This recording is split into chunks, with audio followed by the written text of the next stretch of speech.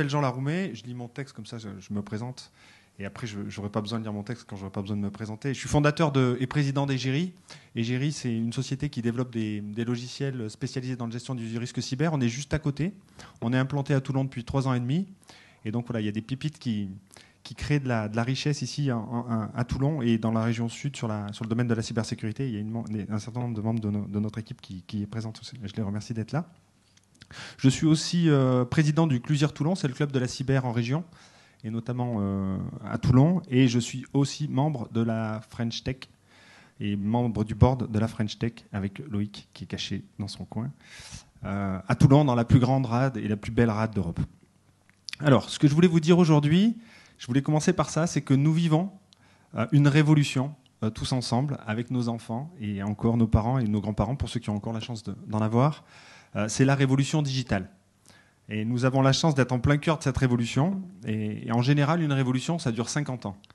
Et 50 ans, c'est euh, le temps qu'a mis euh, la révolution de l'imprimerie ou la révolution industrielle à, se mettre en place. Et c'est aussi, pour ceux qui ne sont pas français, le temps qu'a mis la révolution française en réalité. Si on regarde toutes les périodes d'instabilité jusqu'à la Seconde République en 1848, c'est à peu près 50 ans. Donc une révolution, c'est 50 ans. Et là, on est vraiment tous ensemble au milieu du guet. Euh, donc c'est formidable, il euh, y a énormément d'opportunités qui s'ouvrent à nous, mais euh, le numérique impose aussi un nouvel ordre des choses dont il faut tenir compte, et notamment, un certain nombre de choses qui sont structurantes pour nous tous. D'abord, de nouveaux business models, j'y reviendrai, l'explosion de la complexité, un avantage qui était avant, avant, traditionnellement à la défense, je vais vous expliquer aussi ce que c'est, et puis euh, ce que j'appelle, puisque je suis physicien euh, de, formation, la contraction de l'espace-temps. je vais essayer de ne pas vous, tuer non plus pendant 20 minutes, mais euh, les nouveaux business models. Avec le numérique, il faut, repenser notre façon de, de créer de la valeur. Et le fondateur de Netscape, Mark Anderson, disait Software has eaten the world. Le logiciel a englouti, a mangé le monde.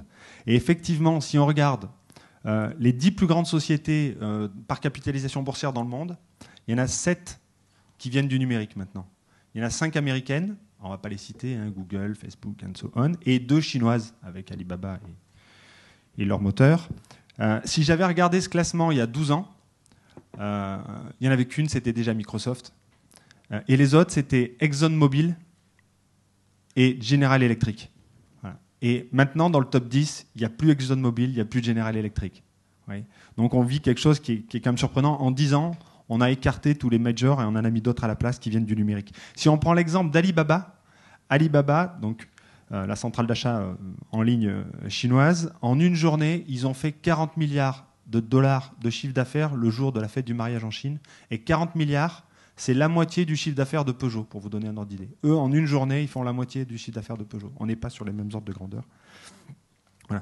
Donc on voit bien que de nouveaux modèles ont émergé. Et, euh, d'ailleurs, la majeure, partie d'entre eux sont des modèles d'aide à la décision, des systèmes décisionnels. Euh, Google, même l'iPhone, en réalité, euh, c'est un système qui nous permet de nous aiguiller, chercher de l'information. Donc ça traite de l'information ou ça traite de la, décision. Et ceux qui vont réussir ou qui réussissent actuellement, ce sont ceux qui ont réussi à travailler sur cette ère numérique, notamment principalement sur ces systèmes de décision et d'information. Et euh, on vit dans une société où le talent du tertiaire supérieur est en train de se constituer et en train de prendre le pouvoir. Donc il faut, ben, c'est le principe aussi du Murex, hein, l'art créatif numérique. Et donc celui qui maîtrise l'information, celui qui maîtrisera l'information va maîtriser le monde. Et la cybersécurité, elle est là pour apporter de la confiance dans ce monde-là. Et d'ailleurs, si demain il devait y avoir un choc entre les deux blocs, il commence, hein, ça commence à, s'agiter entre le bloc américain et le bloc chinois, le premier tir, ce ne serait pas un tir de missile dans les airs, ou puisqu'on est à Toulon, un, une torpille sous-marine, mais ce serait plutôt un tir dans le cyberespace pour déstabiliser l'autre euh, et, affecter son système d'information ou son système de, décision.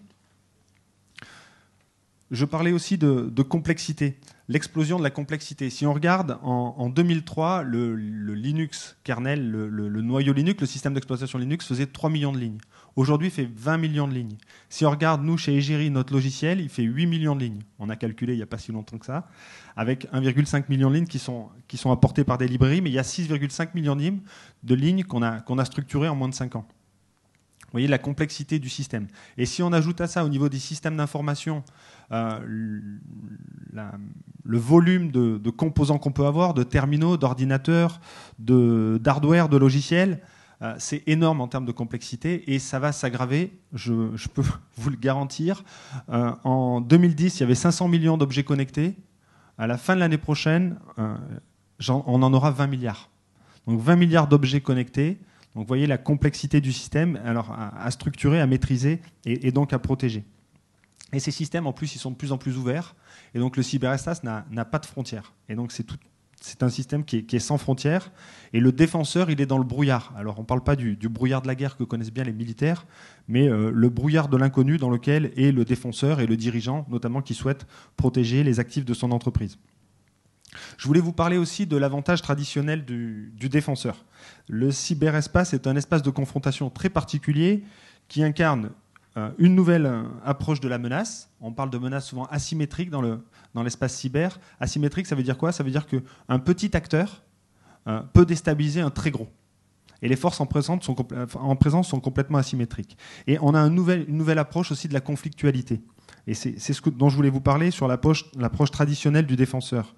Le numérique, il oblige une, une, remise en cause fondamentale qui est la remise en cause de l'avantage traditionnel de la défense par rapport à l'attaque.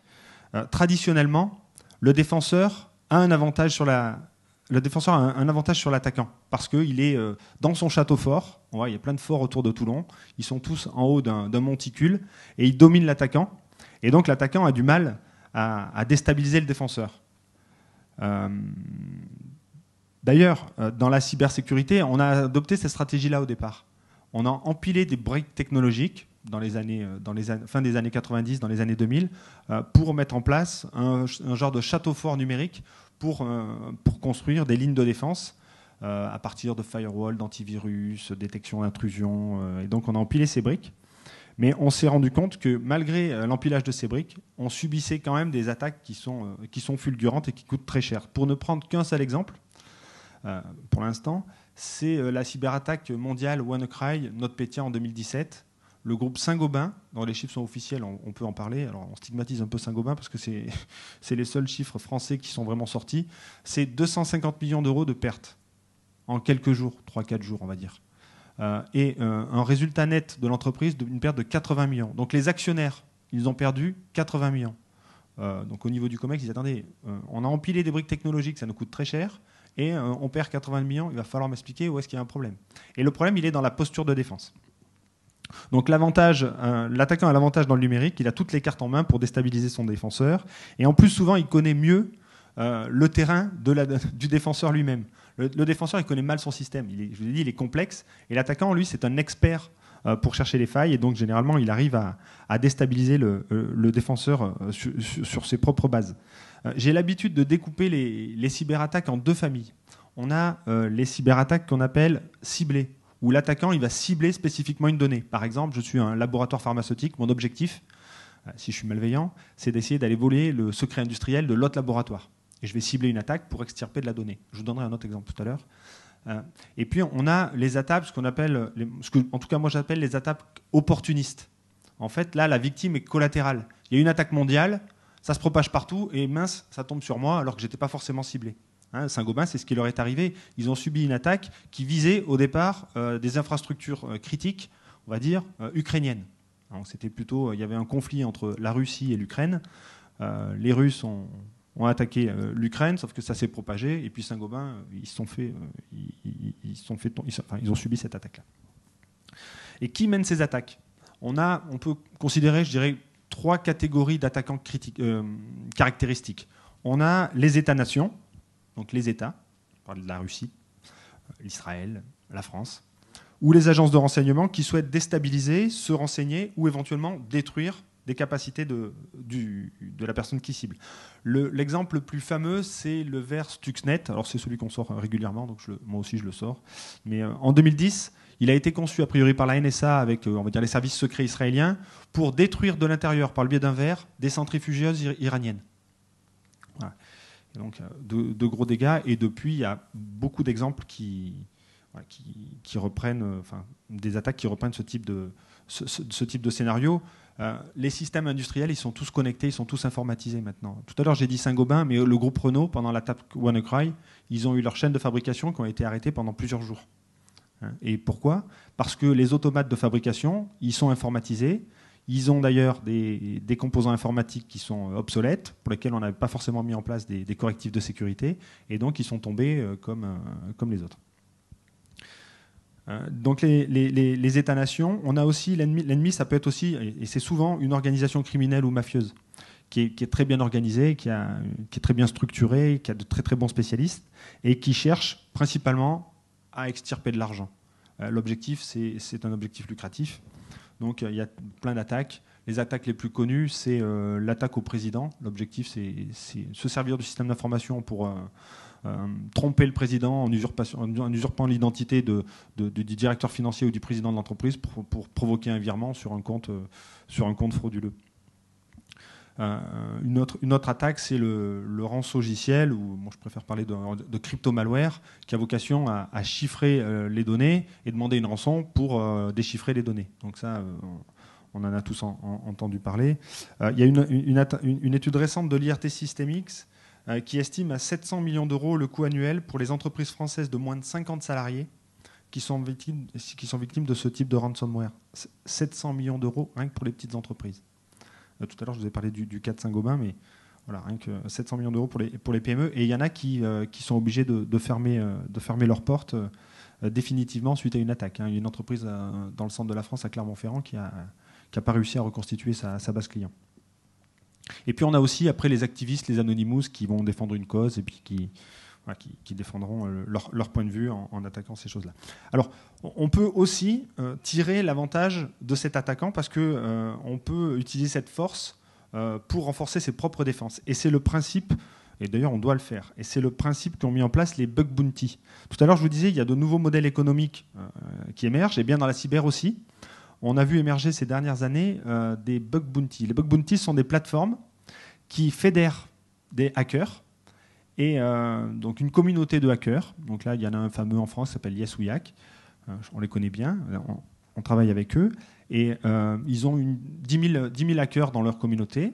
On met à disposition sur leur plateforme notre application à tester et les hackers testent notre application. Et quand ils trouvent une faille de sécurité, plutôt que pénétrer et dire oh, je suis rentré chez vous, euh, donnez-moi de l'argent, euh, ils gagnent une prime.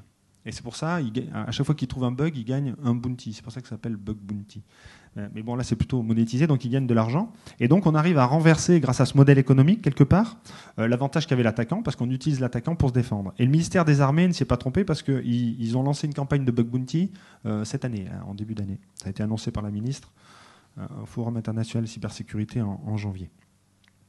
Euh, je parlais de la, de la contraction. Je vais regarder un peu où j'en suis au niveau du, timing. Je, parlais de la contraction de, l'espace-temps. Tout, va beaucoup plus vite. Et je voulais euh, prendre avec vous juste euh, deux exemples. Deux exemples d'attaques qui, montrent qu'en quelques jours, on peut déstabiliser une grosse entreprise, un pays. Donc, tout à l'heure, je prenais l'exemple de WannaCry en mai 2017 donc la cyberattaque mondiale qui exploite une faille euh, des systèmes Windows, euh, des systèmes Windows antérieurs à, Windows 10. Et en fait, cette attaque, elle exploite une faille de sécurité qui aurait pu être corrigée par un correctif, mais euh, certaines entreprises n'avaient pas appliqué ce correctif et donc du coup, ils ont subi l'attaque. Eh ben, cette attaque, c'est plusieurs milliards de dollars de pertes. Plus d'un milliard, mais je pense que c'est plusieurs milliards de dollars de pertes au niveau mondial. Et c'est plus de 300 000 ordinateurs dans plus de 150 pays qui ont été impactés par cette attaque. Et en termes de, de, contraction de l'espace-temps, en moins de 24 heures, c'est 100 000 ordinateurs infectés. En moins de 24 heures. Alors, euh, si on se projette un tout petit peu dans l'avenir, on a vu la 3G, la 4G, là il y a la 5G qui arrive avec euh, des multiplications de débit.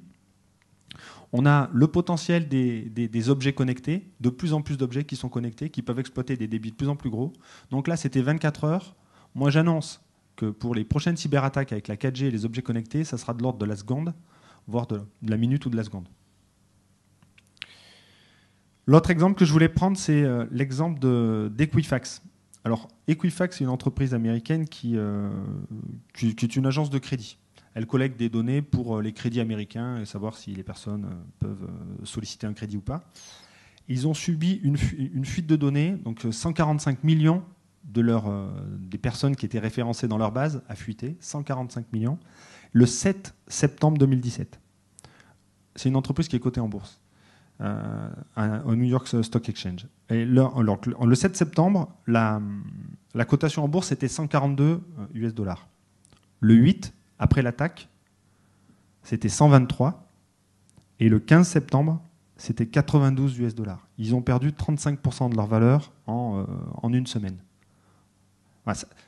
en, une semaine, une entreprise, à cause d'une cyberattaque, elle peut perdre 35% de sa valeur de capitalisation boursière.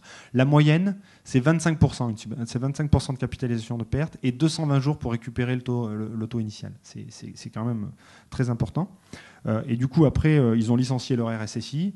Et ce qui est, euh, ce qui est étonnant, c'est la première entreprise qui a licencié son, son, general manager, enfin son chief executive officer, le PDG, suite à cette attaque le 22 septembre donc le PDG euh, parti. Voilà, donc euh, je vous ai un peu dépeint le, côté euh, obscur de, ce nouvel espace du numérique.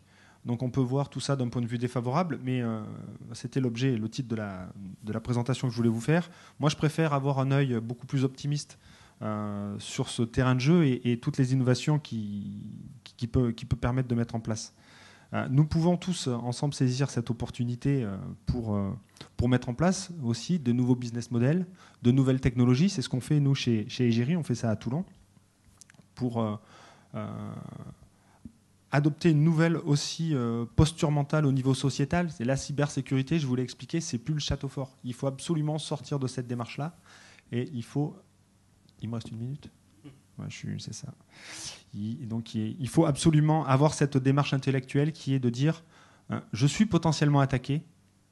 Euh, il faut absolument que, je sois complètement agile et résilient par rapport à cette, approche-là. Alors la France est en pointe sur les sujets, notamment l'école mathématique française est reconnue, euh, la technologie française. On a plus de 120 PME de cybersécurité au niveau français.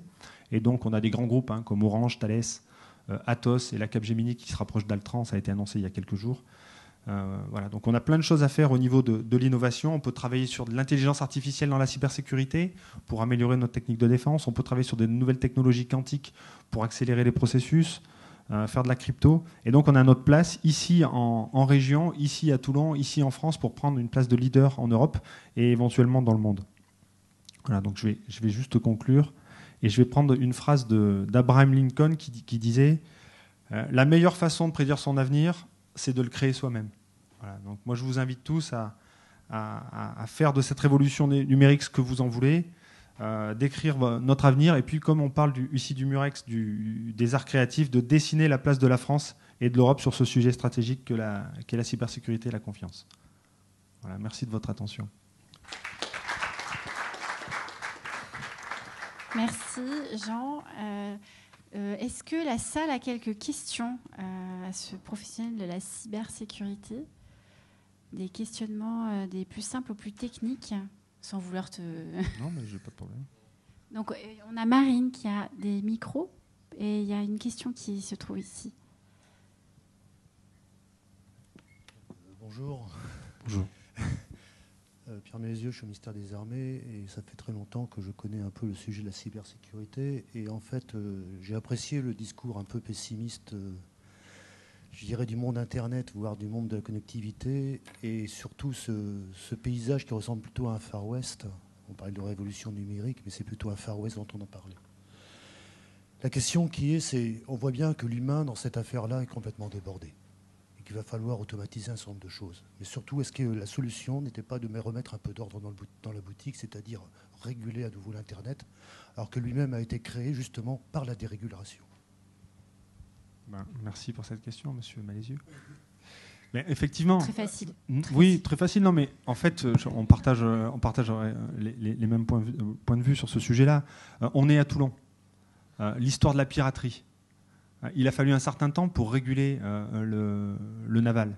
Et donc, on est sur l'ère du numérique. Je dis, on est à la moitié de cette révolution numérique. Donc, effectivement, on est en train de réguler. Après, euh, euh, faut faire attention aussi à la régulation. Donc, il faut réguler. Ça permet de structurer. Mais comme disait, alors je ne sais plus qu'est-ce qui disait ça, les, Américains innovent, les Chinois copient et les Européens régulent. Donc, il faut réguler, mais il faut aussi prendre part à, l'innovation pour pouvoir, euh, pour pouvoir avoir une place de, leader, parce que c'est quand même par l'innovation qu'on va pouvoir s'en sortir, je crois.